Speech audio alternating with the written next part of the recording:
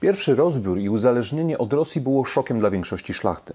Coraz więcej przedstawicieli tej grupy zdawało sobie sprawę z potrzeby reform w państwie. Polsce zaczęła sprzyjać sytuacja międzynarodowa. W 1787 roku Turcja zaatakowała Rosję i wkrótce otrzymała pomoc dyplomatyczną oraz militarną od Prus i Wielkiej Brytanii. Rok później, w 1788 roku, Rosja została zaatakowana przez Szwecję. W obliczu tych wydarzeń caryca Katarzyna II rozpoczęła starania o uzyskanie pomocy militarnej od Rzeczpospolitej. W zamian za jej otrzymanie zgadzała się na przeprowadzenie częściowych reform. W 1788 roku w Warszawie rozpoczął się Sejm, który ze względu na podjęte decyzje oraz czas trwania został określony mianem wielkiego lub czteroletniego. Jego obrady trwały nieprzerwanie od 1788 roku do 1792. W celu usprawnienia jego pracy oraz uniknięcia zerwania przy pomocy liberum veto podjęto decyzję, że Sejm będzie skonfederowany, a decyzje będą podejmowane większością głosów. Marszałkiem Sejmu Wielkiego był Stanisław Małachowski. W trakcie jego obrad udało się podjąć szereg reform. Zwiększono armię do 100 tysięcy żołnierzy, stałymi podatkami obciążono szlachtę oraz duchowieństwo. W prawie o miastach zrównano mieszczan zamieszkujących dobra królewskie ze szlachtą. Mieszczanie mogli otrzymywać tytuły szlacheckie, stopnie oficerskie oraz godności duchowne, nabywać majątki ziemskie i obejmować urzędy. Zwolennicy reform skupili się wokół Stanisława Małachowskiego, Ignacego Potockiego i Hugona Kołłątaja.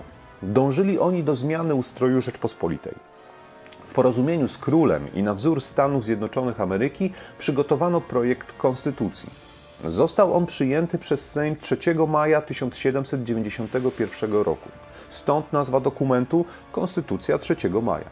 Była to pierwsza konstytucja w Europie, a druga na świecie. Na mocy Konstytucji 3 maja w Rzeczpospolitej tron odtąd miał być dziedziczny. Na Sejmie Walnym przestało obowiązywać liberum veto, co ograniczało wpływ magnatów i obcych mocarstw. Zniesiono podział na koronę i Litwę. Od tego momentu istnieć miało jedno państwo Rzeczpospolita Polska. Wprowadzono trójpodział władzy. Władzę ustawodawczą dzierżył Sejm, władzę wykonawczą król oraz Straż Praw, czyli rząd. Władza sądownicza spoczęła w rękach niezależnych sądów. Zwiększyły się prawa mieszczan z miast królewskich, ograniczono natomiast znaczenie politycznej szlachty gołoty, czyli tych szlachetnie urodzonych, którzy nie posiadali własnej ziemi.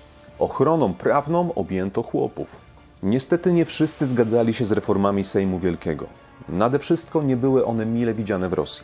Część magnatów w porozumieniu z carycą Katarzyną II w 1792 roku w Petersburgu zawiera konfederację skierowaną przeciwko zmianom.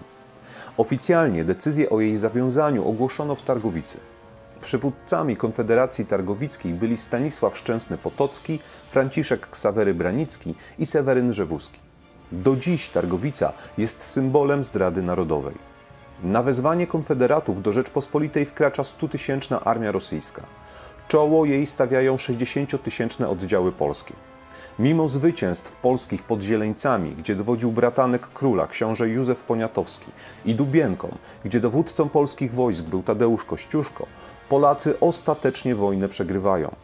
Caryca Katarzyna II, grożąc królowi detronizacją i kolejnym rozbiorem kraju, zmusza Stanisława Augusta do poparcia Konfederacji Targowickiej. Mimo wcześniejszych obietnic Katarzyna II wraz z Fryderykiem Wilhelmem II dokonują w 1793 roku drugiego rozbioru Polski. Rosja zagarnęła ziemie białoruskie, ukraińskie oraz Podole. Prusy zajęły Wielkopolskę, część Mazowsza, Gdańsk i Toruń. W rozbiorze nie brała udziału Austria, gdyż była zajęta wojną z Francją. W tym samym roku w Grodnie zebrał się Sejm. Steroryzowany przez zaborców zatwierdza drugi rozbiór oraz znosi większość reform Sejmu czteroletniego. Przywrócono przywileje szlacheckie, wolną elekcję oraz liberum veto. Część zwolenników reform, obawiając się represji, udaje się na emigrację do Saksonii.